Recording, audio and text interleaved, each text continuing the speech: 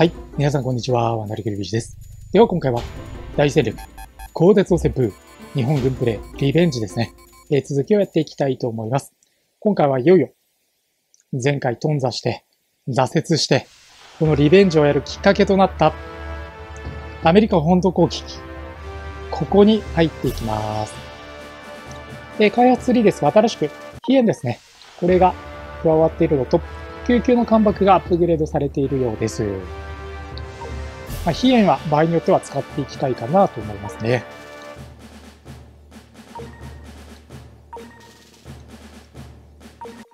はい。では早速、えー、作戦の内容から今一度確認していきたいと思います。インドを制圧してアジア方面での戦争に一段落をつけた我が国は、この戦争での勝利を決定づけるために、ハワイ、オハフ島を拠点とし、米国、西海岸に上陸を開始することになった。これが本当にきつかったですね。まあ、前回はシアトルまで攻略できたんですけども、やっぱり中に入っていくことができない。えー、ソルコレクシティに入れなかった。まあ、これがね、えー、まあ、頓挫してしまった前回の戦訓になりますので、今回はそのあたりどういうふうに対応していくかっていうのも考えながらプレイしていきましょう。えー、勝利条件ですが、40ターン以内に全敵司令部、えー、撃破することができれば大勝利になります。ロサンゼルス、シアトル、えー、あとはソルトレクシティですね。この3つ攻略目標になっています。では早速始めていきましょう。えではまず初期配置ですね。え空母が4です。で、戦艦が3。これが初期配置ユニットになっています。敵の司令部ですが、まずここにロサンゼルスですね。そしてそこから北にずっと登っていくとシアトルがあります。で、内陸部の方にはもう一つ、まあ、ここがおそらく最後の敵司令部という位置づけになると思うんですけども、敵の司令部がありますので、えー、合計3つですね。この司令部撃破が目標になります。では、部隊展開していきましょう。まずは、えー、手塩に育て上げてきた従順ですね。そして、今回、軽順からおそらく従順にアップデートできると思うので、この軽順も配置しましょう。これ、軽順から従順にアップデートします。もう一隻、軽順から従順にアップデートできると思うので、まあ、自前で10巡洋艦を3隻用意できる、まあ、そういう体制になっています。配置する航空戦力ですが、最優先で正気。これはね、進化を続ける、しかも驚異的な進化を続けるアメリカ軍の航空戦力に、まあ、唯一現状ギリギリ渡り合える、まあ、そういう航空機になってますので、この航空機をしっかり配置してですね、えー、迫り来る米軍機を撃墜していってもらいたいというふうに思います。ただこの正気ですね、全部で、えー、6ユニットですね、えー、しか用意していないので、この6ユニット大事に大事に使っていきたいと思います。ちなみに、正気なんですけども、基本的には連度はマックスまで上げてあります。なので、この連度マックスの正気が、まあ、どういう風にね、えー、戦ってくれるかというのも楽しみにしたいと思います。で、配置するユニット、今度は陸軍系になるんですけども、防御力に優れた対空砲ですね。これをちょっと配置して敵の進軍を食い止める。まあ、あのー、消極的な作戦にはなるかもしれないんですけども、まあ、しっかりここでね、食い止める行動をしてもらいたいと思います。あとは、これも手塩にかけて育て上げてきた 150mm のヤホーですね。これを配置して迫り来る敵部隊をどんどん撃破していってもらいたいかなというふうに思っています。では動かしていきましょう。まずは、まあ、本来の使い方ではないですけども、空母でレーダー基地攻撃しながら進軍していきます。最初はやっぱりロサンゼルスをね、取りたいので、ロサンゼルスに向けて戦艦部隊を動かしていきましょう。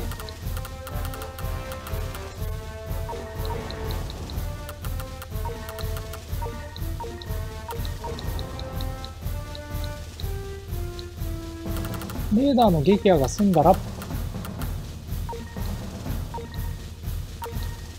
航空隊を少し広範囲に動かせるようになると思うので、より米軍機の撃退がしやすくなるかなと。えー、まあそういう期待もしています。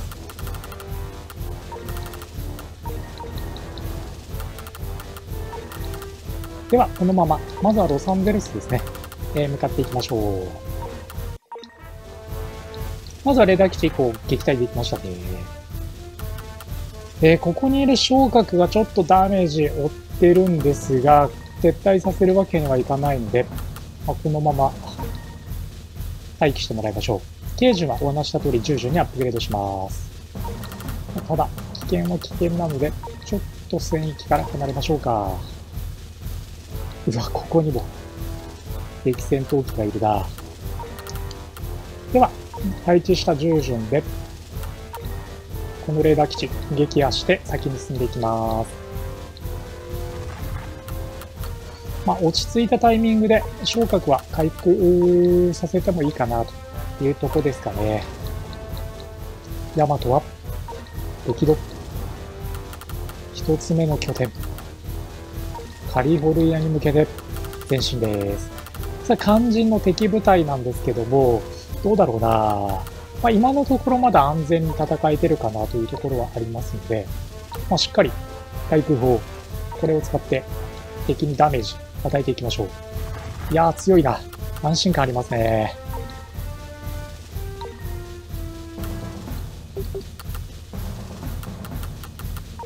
まあ、航空機で壁を作っておくというのは一つ有効かなと思いますので。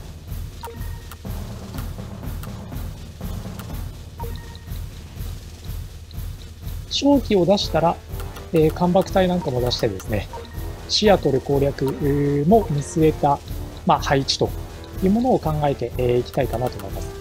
150ミリと野戦砲も効いてくれるなちょっとまだ野戦砲前に出すには危険な位置なので、この位置からということになるとは思うんですけども、まあ、どっかのタイミングでもう少し前にズリズリズリっと引っ張っていきましょうか。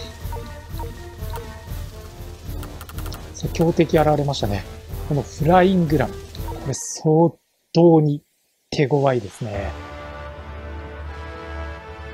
まあ、正気でもかなり損害が出ると思っておいた方がいいと思いますので、まあ、対空砲でダメージを与えておきましょう。で、救急の艦爆は改造しておきます。ちょっとでも火力がね、上がってほしい。まあ、そういう思いですね。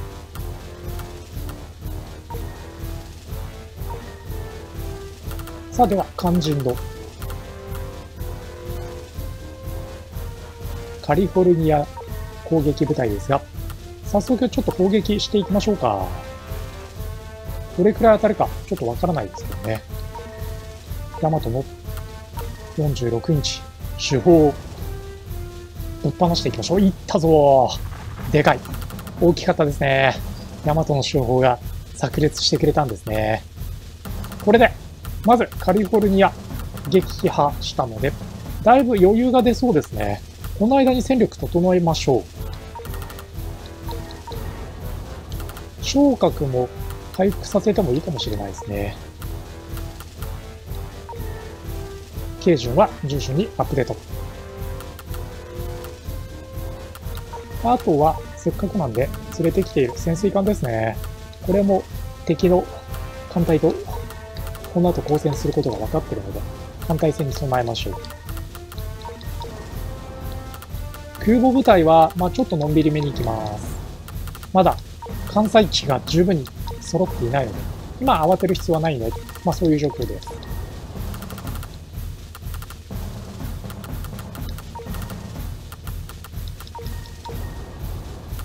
す。では、進軍も開始していきたいところなので、じわりじわりと出していきましょうか。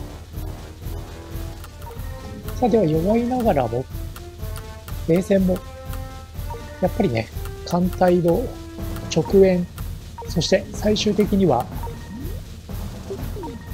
シアトルへの切り込み隊として必要になります、なりますので、えー、設置をね、えー、行っていきたいと思います。まあ、前回よりだいぶまともに舞台が機能してくれてるなという感じはありますからね。このままちょっと頑張って進んでいきましょう。ヤマトが少しダメージ出てるので、今後前線に貫列として持っていきます。で、長門でサンドイッチ挟みましょう。潜水艦もね、この後先行させたいと思います。では、時間を進めます。で、前回はもう押し込まれるだけだったんですけども、今回はね、しっかり占領も行っていって、えー、なんとか資金に余裕が出る状態、維持していきたいかなと思います。B25 捉えてます。えー、さらにその先には、敵の駆逐艦ですね。まあ、これは早々に葬り去っておきたいかなと思いますので、艦爆隊なんかも出しながら、敵の艦隊の捜索も始めていきます。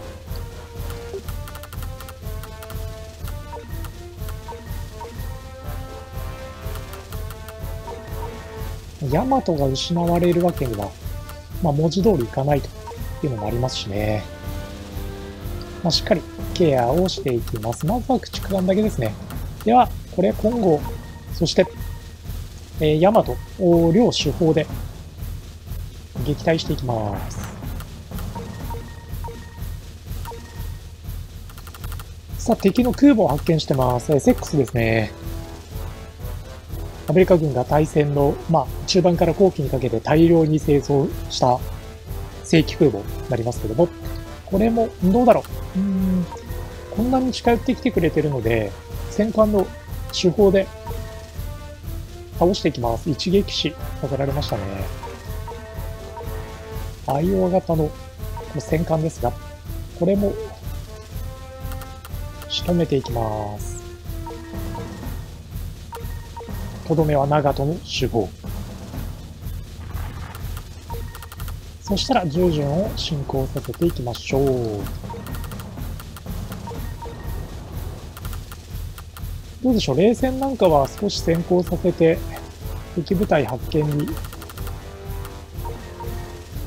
なんとか貢献してもらいたいところですけどね。まあ、そういう話をしていると敵の軽空母発見してますので、これ関白で撃沈狙いましょう。軽空母も撃沈。そうするとさらに敵の戦艦を確認と。まあいい流れができてますね。空母は、まあ、あの一定の距離を置きつつ、ある程度、えー、海上で補給できるように配置をしっかり考えながら進めていきます。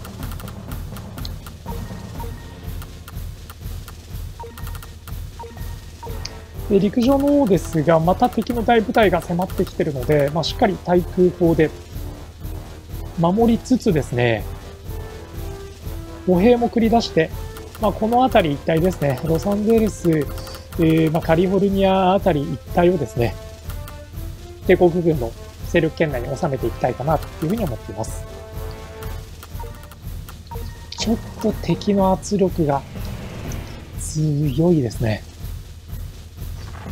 ロサンゼルス方面から、まあ、あのー、やってきている敵部隊だと思うんですけども、まあ、かなり圧が強いので、まあ、この圧力どうやって跳ね返すかですね。では、艦隊戦引き続きやっていきましょう。ノースカロライナ級、これ戦艦だな。戦艦相手に従順で切り込みはきついので、先に、艦爆出しましょうか。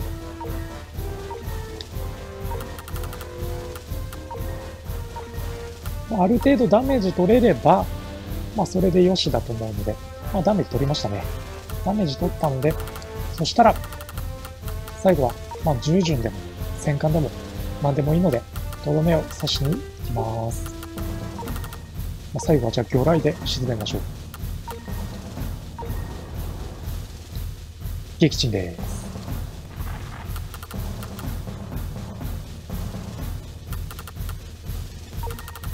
にいる邪魔なライトニングは、冷戦でなんとか処理するしかないですね。正気は残念ながらここまでは高速距離考えると難しいので、冷戦で対処、まあ、せざるを得ないというのが、まあ、実情ですね。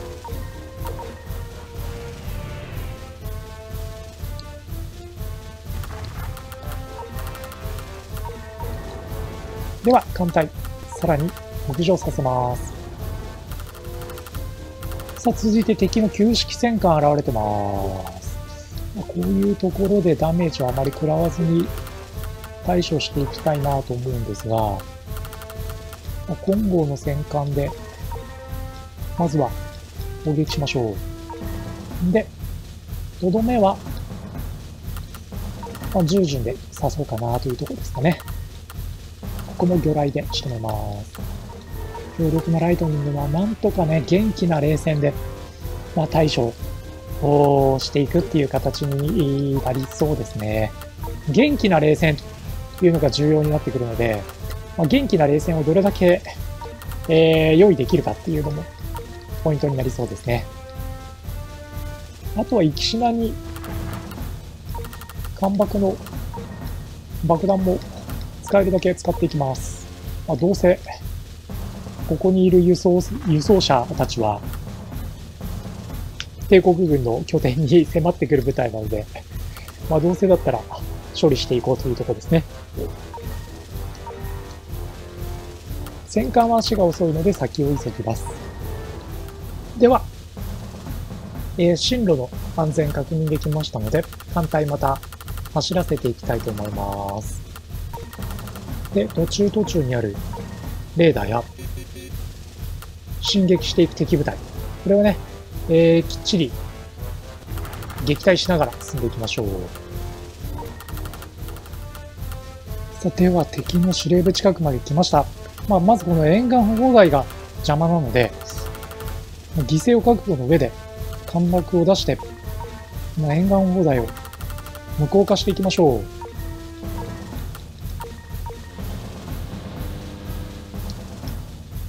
なんとしてもこの沿岸砲台はね、やっぱり亡き者にする必要がある。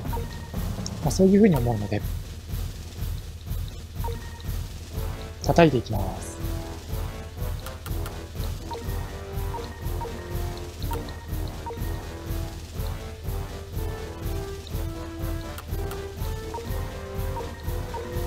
放射砲も同じくね、航空機の邪魔になるもの、破壊していきましょう。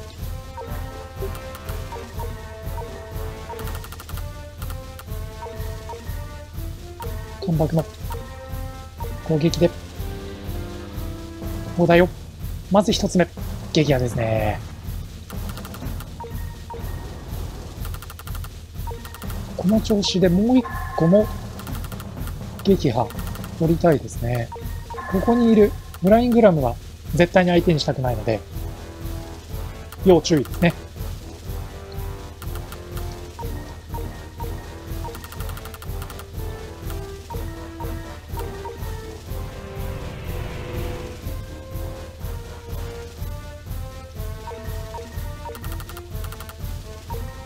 ここも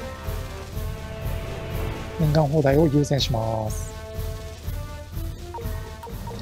さあ、では、えー、シアトルですかね。攻撃を加えていきたいと思います。だいぶ近づいたので、艦砲射撃で狙えますね。ちょっと野戦砲を狙ってしまったので、まあ、せっかくならここ野戦砲片付けちゃいましょう。で今夜間なので、航空機使った艦爆による攻撃ができないので、次のターンで集中攻撃、仕掛けていければいいかなというとこですかね。なので、しっかり間爆をここで入れておきましょう。フライングラムが近くにいるので、あのフライングラムに捕まらないようにだけはね、気をつけたいと思います。フライングラム相手だと、間爆だと、まあ、もうちょっと相手にならない次元に達してしまっているかなと思いますので、そしたら冷戦1機だけ飛ばしますか。冷戦飛ばしておいて、えー、攻撃ポイント確保しておきます。まあ、最悪犠牲になる可能性はあるかなと思いますが、まあ、それはそれで良しとしましょう。な、たどり着けなかった。うわ、フライングラムに一撃死させられてるな。ちょっと近寄らない方が良さそうですね、こういう状態だったら。では、シアトルに再び攻撃を仕掛けていきましょう。ちょっと近寄れたもんじゃないので、やっぱり艦砲射撃で仕留めたいですね。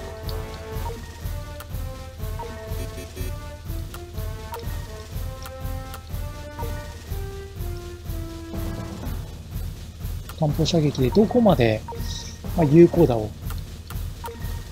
入れられるかというところですけど、ここまでのところ、ちょっと命中弾がないので、ヤマトにかけましょう。ヤマトの手法。これが当たってくれれば。1かちょっと厳しいなこの従順も導入しましょうか。次のターンまで使います。次のターンまで使って残り半分5を削っていきましょう。7まで回復してますね。あんまりいいニュースではないですが、攻撃を仕掛けていきましょう。ここで3ぐらいいってくれるといいですね。ここもちょっとダメージを負ってる手負いの従順ですが、1でもいい。削ってくれ。削れなかった削れませんでしたね。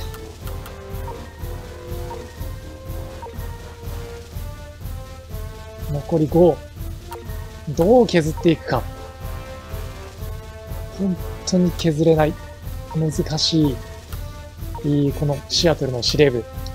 攻撃ですけど、4。4。さあ、ヤマトだ。ヤマトの手法。